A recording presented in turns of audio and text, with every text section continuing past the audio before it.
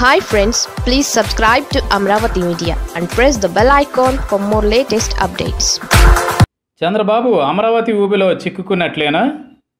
నెల రోజుల్లో ఇంగ్లీష్ మాట్లాడడం ఎలా?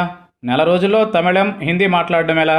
అనే శీర్షికలతో పుస్తక దుకాణాల బయట వేలాడుతున్న పుస్తకాలు కనిపిస్తూ ఉంటాయి.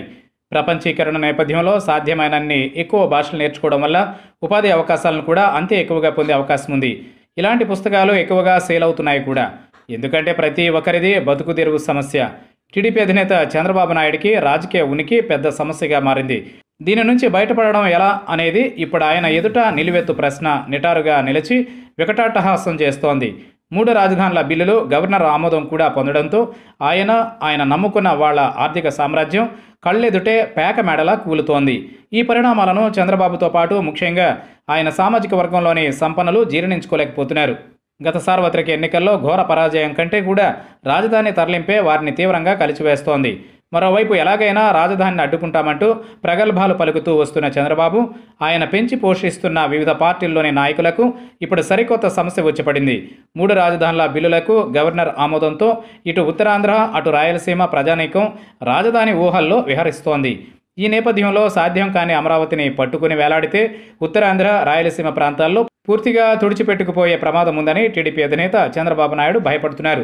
దీంతో రాజధాని పోరాటాన్ని పార్టీగా వదిలేసి అమరావతి జేఏసీ భుజాన మోపి సైడ్ అవుదామని చంద్రబాబు ఆలోచిస్తున్నారు. అందుకే మూడు రాజధానుల బిల్లులు ఆమోదం పొందగానే అమరావతి జేఏసీ పిలుపు మేరకు రాష్ట్ర వ్యాప్తంగా వారి ఆందోళనలకు సంఘీభావం తెలపాలని పార్టీ శ్రేణులకు చంద్రబాబు పిలుపు ఇవ్వడం వ్యూహంలో భాగమే. నిజంగా అమరావతిపై ప్రేమే ఉంటే రాజధానిని అక్కడే కొనసాగించాలని టీడీపీ శ్రేణులు ప్రత్యక్ష కార్యాచరణకు ఎందుకు దిగడం లేదు? ఈ ప్రశ్నకు చంద్రబాబు సమాధానం చెప్పాల్సిన పని లేదా? రాజధాని ఇష్యూ నుంచి రాజకీయాలను దారి మళ్ళించేందుకు చంద్రబాబు వేసిన ఎత్తుగడే అసెంబ్లీ రద్దు సవాల్. చంద్రబాబు ఐదేళ్ళ పాలనపై ఆంధ్రప్రదేశ్ ప్రజలు ఏడాది క్రితమే తీర్పు చెప్పారు. టీడీపీ కాళ్ళు చేతులు విరగ్గొట్టి మూలన కూర్చోబెట్టారు. రాయలసీమలోని చిత్తూరు జిల్లాకు చెందిన చంద్రబాబు నాయుడు తన జిల్లాలో ప్రఖ్యాతిగాంచిన పుత్తూరు కట్టు కట్టించుకుని నెమ్మదిగా కోలుకోవాలనుకుంటున్న దశలో మరో పిడుగుపాటు. అభివృద్ధి పరిపాలన వికేంద్రీకరణ కోసం మూడు రాజధానులను ఏర్పాటు చేయాలని జగన్ సర్కార్ తీసుకున్న నిర్ణయంతో టీడీపీ నిలువున కూలిపోయింది. ఈ నేపథ్యంలో అమరావతిలోనే రాజధాని కొనసాగించాలనే పిలుపుతో ప్రజలను రెచ్చగొట్టి ఉద్యమాన్ని లేవనెత్తాలనే చంద్రబాబు ప్రయత్నాలు వర్కౌట్ కాలేదు. మరోవైపు రాయలసీమ ఉత్తరాంధ్రలో చంద్రబాబుపై అంతకంతకు ఆగ్రహం పెరిగిపోతోంది.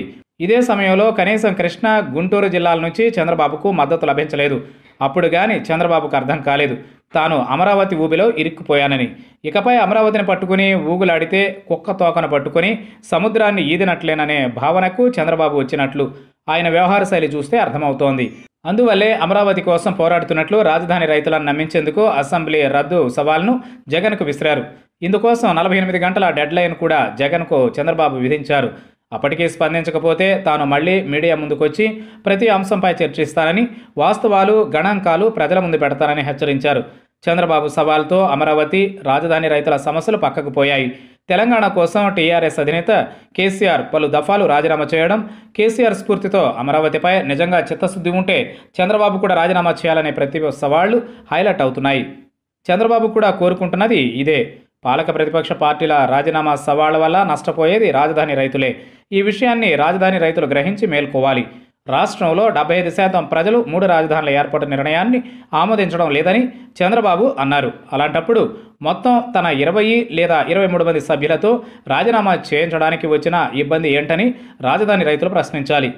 తన సవాల్కు అధికార పార్టీ తోక ముడిచిందని రాజకీయ విమర్శలు చేస్తారు. చంద్రబాబుకు అధికార పార్టీ నుంచి వెంటనే కౌంటర్ వస్తుంది. పాలక ప్రతిపక్ష పార్టీల మధ్య ఒకవైపు సవాళ్ళు ప్రతి సవాళ్ళ తంతు నడుస్తూ ఉంటే మరోవైపు రాజధాని తరలిపోవడం ఖాయం. అందువల్ల రాజధాని రైతులు జరుగుతున్న పరిణామాలను జాగ్రత్తగా గమనించి రాజకీయ పార్టీలన్నింటినీ నిలదీయాలి.